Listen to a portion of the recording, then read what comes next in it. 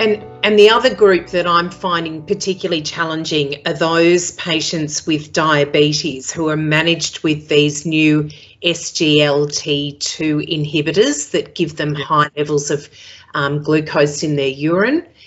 Yeah. Not only chronic urinary tract infection, but chronic bacterial candidiasis, yeah. which I'm finding very hard to eliminate. I, I, it's, it, I agree with you. I think it's a terribly difficult area, incredibly difficult. And uh, we, we, we have another a number of diabetics that we truly struggle with.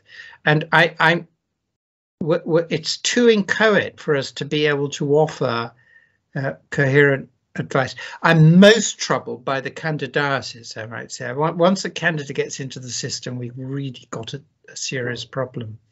And that um, one of my most recent PhDs um, went and did some work in the diabetic clinic and and and uh, Sheila she's about to publish it and and found that the the perception of urinary tract infection in the diabetic clinics is is all over the place.